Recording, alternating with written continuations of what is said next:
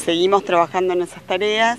Digamos, la idea es, digamos, atenuar, ¿no? Sabemos que no se va a eliminar y bueno, y hay que hacer, continuar con todas las medidas preventivas, tanto domiciliarias como municipales.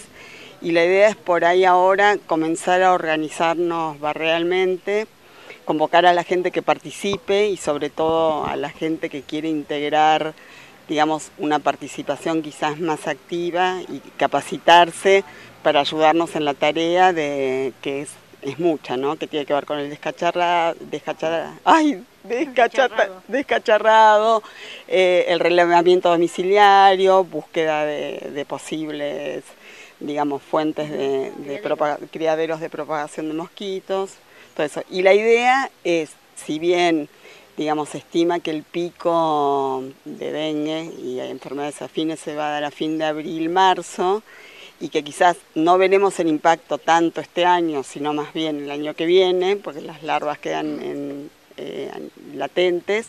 Bueno, la idea es empezar a organizarse y que la gente empiece a participar, no solo por este tema, sino por, para empezar con, digamos, para el año que viene, ¿no? O sea, el tema prioritario es la basura y bueno, empezar a ver cómo se trata y cómo, cómo implementan las medidas de limpieza. El mensaje para la gente es que cada uno en su hogar eh, revise, controle, que no haya posibles lugares donde propaguen los mosquitos.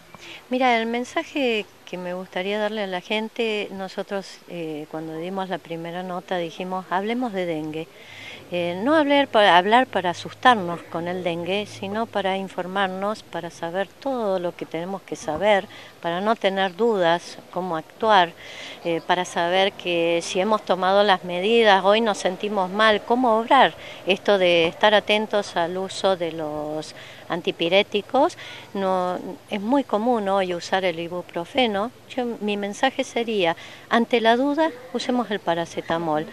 Si necesitamos usar el ibuprofeno, eh, si tenemos un médico amigo, llamarlo por teléfono, contarle qué nos pasa y pedirle, preguntarle si, si estaría bueno usar el ibuprofeno o no, según la situación de cada persona. O sea, no hablo de que si me duelen los huesos y estoy con, con un problema de reuma, bueno, es una situación que está bien identificada, sino ante situaciones no identificadas.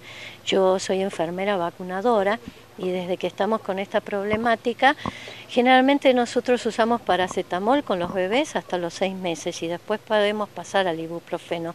Ahora yo me estoy acostumbrando a decirle mamá, eh, si hay algún problema con la vacunita, paracetamol. Ah, pero yo le he dado ibuprofeno. Le digo, ¿sabes qué pasa? Yo me estoy acostumbrando a pasar al paracetamol en esta época que estamos atravesando. Entonces, para tomar ya este, la, la práctica, ¿no? En, en qué estamos usando.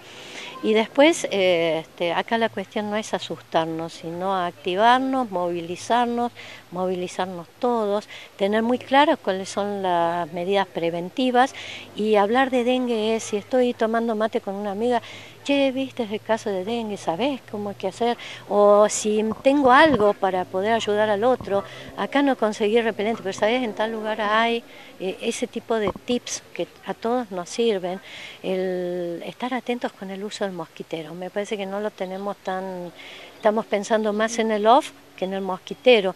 Y volver a la época de antaño donde nos cubrían las camas con los mosquiteros en zonas donde había mosquitos.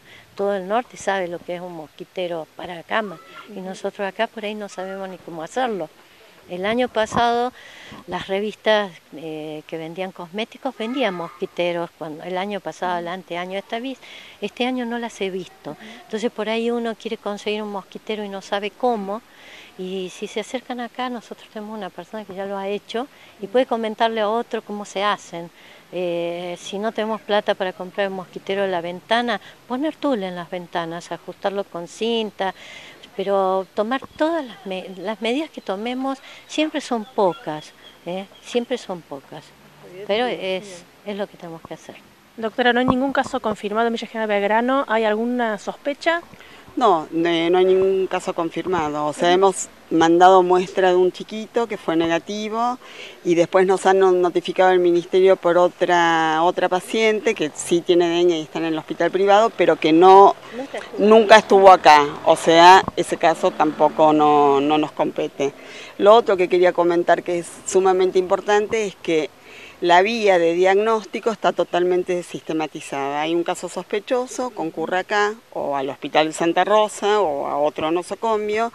De acá se envía la muestra al Ministerio de Salud, Epidemiología, o sea, nosotros no tenemos posibilidad de, digamos, de ver si es positivo o no, se envía la muestra y del Ministerio de Salud notifican al referente. O sea, la vía es muy simple. Y también es el Ministerio el que, digamos, indica todas las acciones que hay que hacer. Nosotros la, implementamos a nivel local, pero el ministerio es el que da las pautas.